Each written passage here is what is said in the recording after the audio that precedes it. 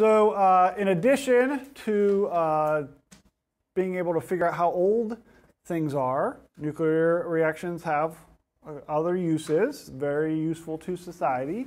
And one of them is this reaction right here.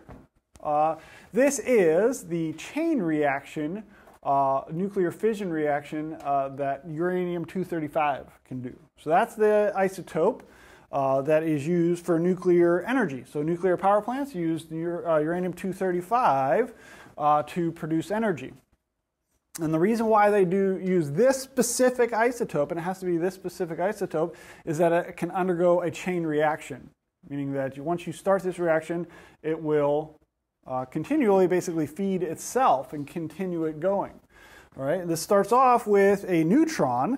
So if you bombard a uranium-235 isotope uh, with a neutron, so slam a neutron into it, it will undergo this nuclear fission reaction. It breaks down to barium-140 and krypton-93 and produces three neutrons. And you could check the atomic numbers and mass numbers, make sure this is balanced, and this is uh, the nuclear fission reaction uh, for this process.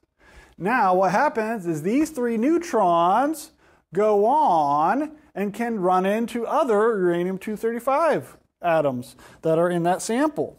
And guess what happens? Wait for it. Get excited. Boom, special effects.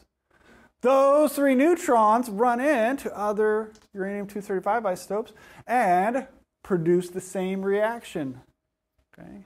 I didn't want to put it on the PowerPoint slide because then you wouldn't be impressed by my special effects. It's from your book. All right.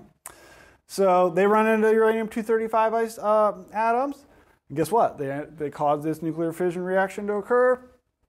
They produce three more neutrons, so they can go on. So it's a chain reaction. So once you put in a little bit of energy to kickstart this process, then it keeps itself going. So that's the chain reaction uh, portion of it.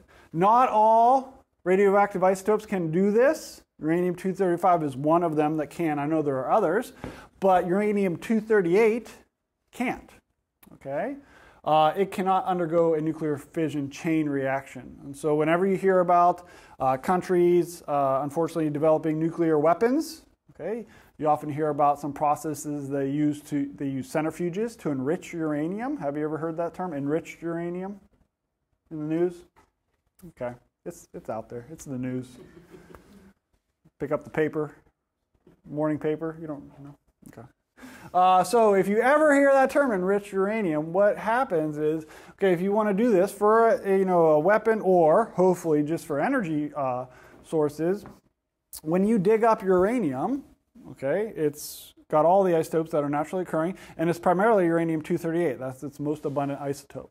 That is the isotope. You don't want that isotope. So what you do is you go through processes to remove uranium-238 and so that you have more uranium-235 in your sample so that this happens. Okay? And so, so if you have a sample that has a higher uh, uranium-235 percent, then it would naturally occur. You have an enriched uranium sample. All right, so that happens, okay, and it produces a lot of energy. And how do we get that energy to translate into electricity to use? Okay, there's a couple nuclear power plants in South Florida. This is how they do it. So they have their fuel rods. So you have uranium, uh, usually doped in some type of really, um, uh, really uh, ceramic material that has uh, very good thermal properties that can withstand the heat. Um, they have a series of control rods or uh, reactor rods, fuel rods, um, and control rods to block those neutrons. So the more you block the fuel rods from each other, the more you block the neutrons and you would slow down the reaction. Or if you raise them up, more neutrons would go from fuel rod to fuel rod and that would speed up the reaction so you produce more energy. And essentially, they, they do uh, the same process like a uh, coal burning power plant would do. Uh, they use that energy to heat up water.